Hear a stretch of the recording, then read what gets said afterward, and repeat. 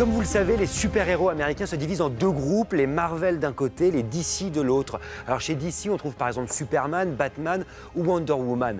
Alors que Marvel a regroupé ses plus grandes vedettes dans la franchise Avengers, DC réplique avec sa Justice League.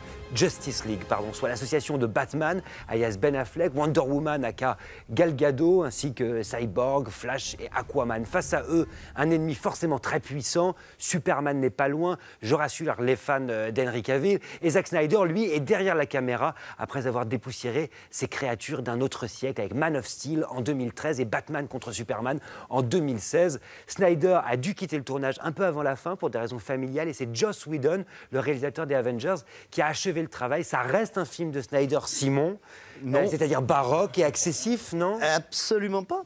Euh, non, non, le, non, le, le- problème du film, vous, vous l'avez dit en quelques mots, mais en gros, euh, Snyder, donc après avoir fait les deux premiers épisodes, on va dire, de l'univers étendu de DC Comics, entame donc.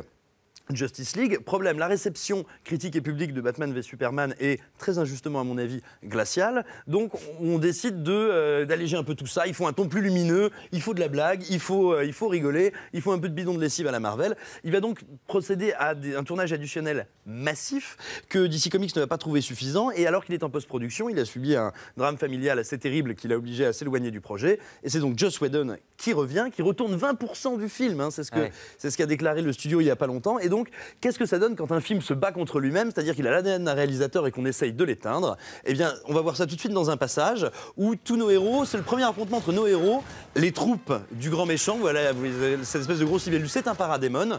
Et là, vous remarquez, ça, j'y peux rien, ça s'appelle comme ça. Et donc là, vous voyez, voilà, le Batfleck qui est là, Cyborg qui ressemble à une brosse à dents pour Transformers.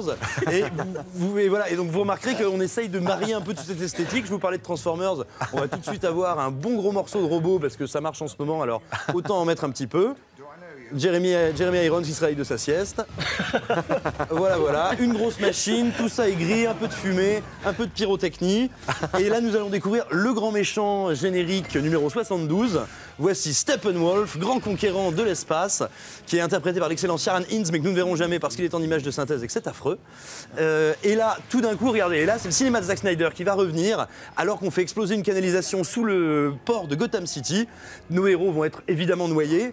Sauf, sauf si quelqu'un pouvait contrôler l'élément à queue. Et voici, sous vos yeux, Aquaman qui arrive. Et là, on retrouve Zack Snyder. Là, on est dans la mythologie. Là, on est dans une image qui est composée. Là, on est dans quelque chose qui vient vraiment de l'esprit du comics et qui, tout d'un coup, justifie d'être assis dans une salle de cinéma. Et ah, ce plan, regardez-moi ce plan, j'en ai rêvé.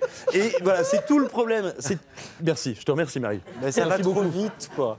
Trop vite, trop d'informations, trop de décryptage, tout. Philippe, Mais c'est brillant ce que dit Simon, il a tellement raison, c'est exactement ça. Et le problème, c'est qu'on se retrouve avec une marvelisation de la franchise d'ici.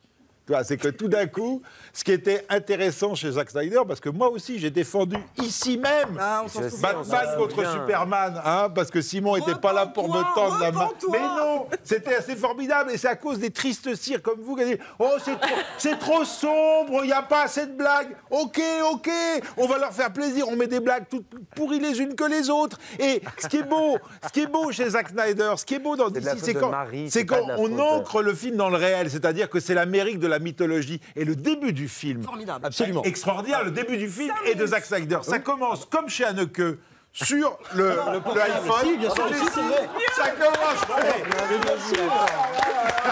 C'est j'applaudis. une queue. c'est standing ovation. avec l'iPhone et tout d'un coup le générique c'est sur cette Amérique et même ce monde puisqu'on va aussi à Paris le monde est dévasté parce que Superman est mort Alors- et parce que Superman La- est mort à la, la fin de Batman contre. Superman Moi, ça et, ça c'est c'est d'une beauté c'est la fin de l'espoir et là le film est ancré dans le et on se dit mais ça va être un film extraordinaire et tout d'un coup l'autre arrive là Steppenwolf machin truc alors il sort euh, du ciel dans des canalisations il y a des racines des herbes violettes. Enfin je veux dire euh, c'est plus rien quoi. Il y a plus il y a plus d'Amérique. On, on, on a alors on n'est pas dans, dans le parking de supermarché des Marvel. On est dans un no man's land là. Le on est chez la 300 fin, pour Frédéric Non, Mercier. par rapport au début, moi je suis, d'accord parce que je suis arrivé deux minutes en retard dans le Oh film. bah, je, me suis, je me suis installé sur Tu ma chaise et il faut quand même dire qu'il y a un spectateur qui est venu vers moi, qui m'a pris comme ça par l'épaule et qui m'a dit Vous savez, Superman est mort. Et alors, Ah, extraordinaire à ce moment-là, moi aussi, je croyais que ce serait extraordinaire. Alors, il faut aussi raconter que le film charrie un discours politique tout du long par des métaphores qui est absolument insupportable. Il faut, en fait, en fait, il faut une espèce de coalition internationale pour vaincre l'obscurantisme.